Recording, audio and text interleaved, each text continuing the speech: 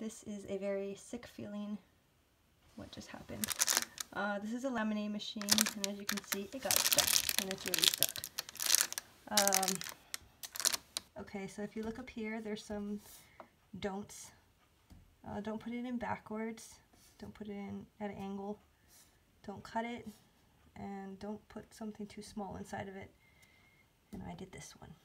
And look what happened. Um, this reminds me of the Ten Commandments, and maybe some people think, like, oh, I just can't do this and this and this, and God is so restricting.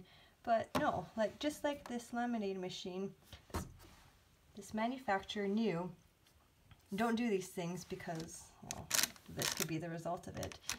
Um, so instead of looking at it like, don't, don't, don't, don't, but really it's out of care and for our best good that we don't do these things so that we can have some nice smooth uh, lamination going on.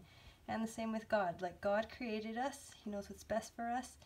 And when you see things like don't, don't, don't, uh, think of it, think of it that He's really looking out for our best good. He knows what's best for us and He wants what's best for us. Uh, let's look at it that it's God's love and His protection and care over our lives.